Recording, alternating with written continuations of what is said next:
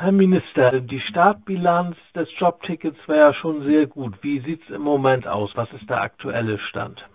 Naja, wir hatten uns ja vorgenommen, nach so neun bis zwölf Monaten um die 1000 Bestellungen des Jobtickets äh, zu haben. Real liegen wir jetzt bei 6300 Bestellungen. Das ist äh, ein Riesenerfolg erstmal.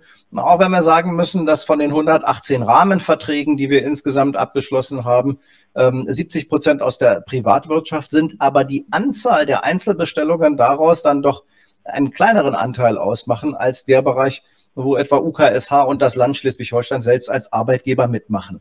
Aber äh, insgesamt ist das Jobticket, glaube ich, ein Riesenerfolg. Sie haben gesagt, einen kleineren Anteil. Äh, sozusagen die Zahlen besagen, äh, 90 Prozent der Jobtickets werden sozusagen von Beschäftigten des öffentlichen Dienstes oder äh, anderer öffentlicher Einrichtungen gelöst. Und das heißt andersrum, das Land und die Stadt, also die öffentliche Hand, zahlt mehr als 300.000 Euro im Monat, um dieses Jobticket zu finanzieren. Ist das nicht ein bisschen teuer? Nee, das finde ich an der Stelle überhaupt nicht, weil man die Dinge auseinanderhalten muss.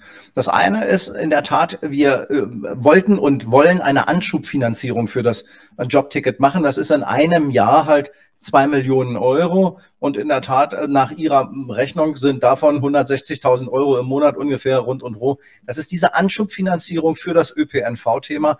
Damit unterstützen wir die Verkehrsunternehmen und damit äh, bringen wir das Ganze ins Rollen.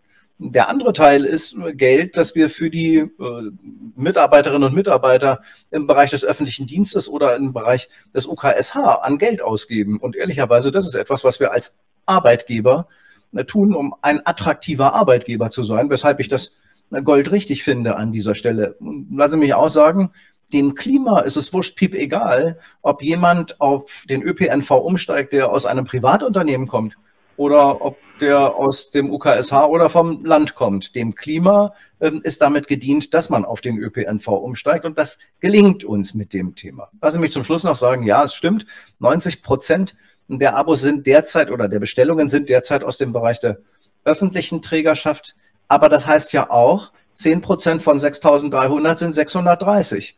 Und 630 ist fast bei den 1000, die wir ursprünglich überhaupt insgesamt angepeilt hatten. Und die kommen rein aus Privatunternehmen. Trotzdem, 6300 klingt äh, toll, wenn man sich als Ziel 1000 gesetzt haben. Aber wie viele Arbeitnehmer und theoretische Jobticketnutzer gibt es denn in Schleswig-Holstein? Das ist doch mehr als eine Million. Ja, das ist richtig, aber natürlich kann man äh, sagen, ähm, erstens sind wir ein Flächenland, wir haben ganz andere Bedingungen als eine Metropole wie in Hamburg.